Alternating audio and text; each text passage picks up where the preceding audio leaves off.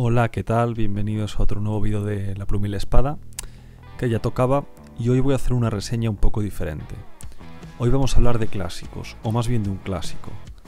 Vamos a hablar de Los misterios de la jungla negra, de Emilio Salgari.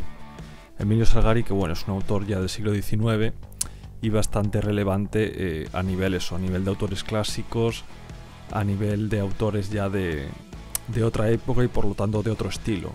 Hablamos de una literatura que no tiene nada que ver con la de hoy en día. Bueno, sí que tiene algo que ver, pero quiero decir que es bastante diferente en muchas cosas. Y ahora hablaremos de ello. Entonces, bueno, me cuesta clasificarlo, me cuesta clasificar estos tipos de libros. Desde luego son libros de acción y desde luego son libros de aventuras, eso está claro. En mi blog lo, este tipo de literatura lo pongo como novela histórica, pero bueno, eh, también se hace difícil clasificarlo así, pero bueno, quizás cogido con pinzas podemos considerarlo novela histórica, pero vamos, repito que cogido con pinzas. Entonces, bueno, cada uno que lo interprete como quiera, desde luego son... Hablamos de, literatura de acción y de aventuras, eso sí.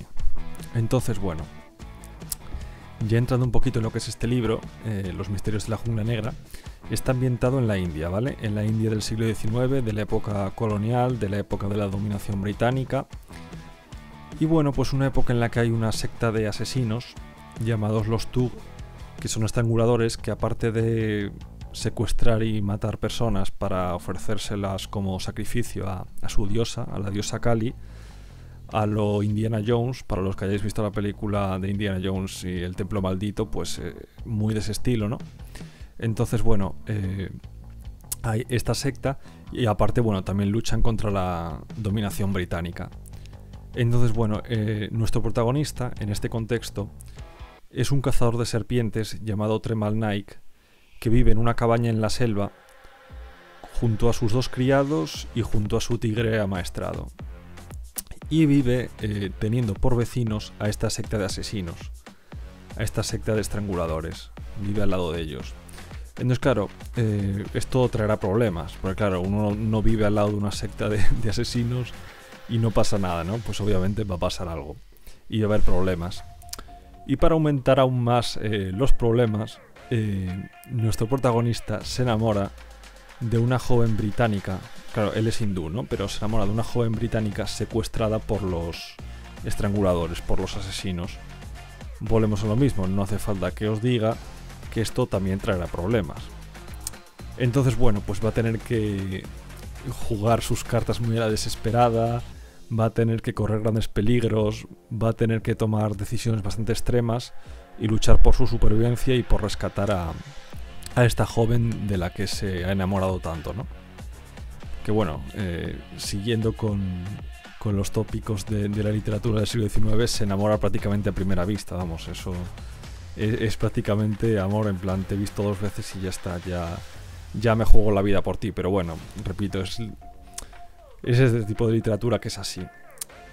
Y claro, lo que quiero señalar es que es un, es un tipo de libro eh, de narrativa muy influenciada por la época en la que fue escrita, o sea, el siglo XIX, la época del colonialismo, la época del romanticismo. Entonces vamos a, eh, vamos a ver cosas que no veríamos en una, en una novela de, a día de hoy, ¿no? Cosas que igual son un poco políticamente incorrectas o lo que sea. Eh, se nos muestra la imagen de, de, que la India es un lugar exótico, súper exótico y salvaje, llena de peligros a, a, la vuelta de la esquina, ¿no? Que parece que das dos pasos y ya te encuentras a un tigre que te quiere matar. Que luego en la realidad sabemos que no necesariamente es algo tan exagerado, pero bueno, eh, te ponen esa idea, ¿no? De, del mundo, de, ese mundo inexplorado y, salvaje que, son las selvas de la India. Eh, te, ponen la idea quizás un poco romantizada de el colonialismo, eh, también la idea del romanticismo, ¿no? De ese héroe impulsivo, ¿no? Ese héroe que es tan varonil y, la varonil, la virilidad está entendida como impulsividad, ¿no? Parece que si no eso, si, no es muy impulsivo, si no es muy cabezón, el héroe parece que no es lo suficientemente héroe y lo suficientemente masculino, ¿no? Siempre tiene que hacer alguna tontería, eh, dejándose llevar por arrebatos y demás, y, y lo ponen eso como muy heroico, ¿no? Es un tipo de, de literatura, pues eso, es el héroe del romanticismo. Que también que lucha siempre a la desesperada en situaciones muy tal, eh, pues eso. Eso está... Todas estas ideas se van a notar, van a, van a hacerse muy presentes eh, a lo largo del libro, porque bueno, es, eh, es la literatura de esa época no hay, no hay, digamos, escepticismo moral como hay a día de hoy, no hay el punto de vista de varios personajes, no. Es eh, el, malo, no, perdón, el bueno, los malos. Es, bueno, pues una literatura pues de otra época, pero que está muy chula, la verdad. Tiene mucha acción, tiene mucha, muchas, ah, muchas aventuras, incluso bastante, bastante, violencia, ¿no? Las escenas de acción a veces son bastante violentas.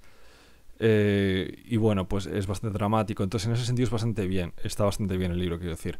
Es un libro largo, relativamente largo, pero no es aburrido ni tostón para nada. Repito que hay mucha, hay mucha acción, aparte, bueno, hay esa historia de amor un poco, un poco impulsiva, un poco loca, y eso. Y, y bueno, eh, decir que este libro eh, no es autoconclusivo, sino que continuará más adelante en otras obras de este autor y enganchará con la saga de, de otro héroe, que es el conocido Sandokan, que ese sí que os sonará bastante más y bueno, pues enlaza una cosa con la otra.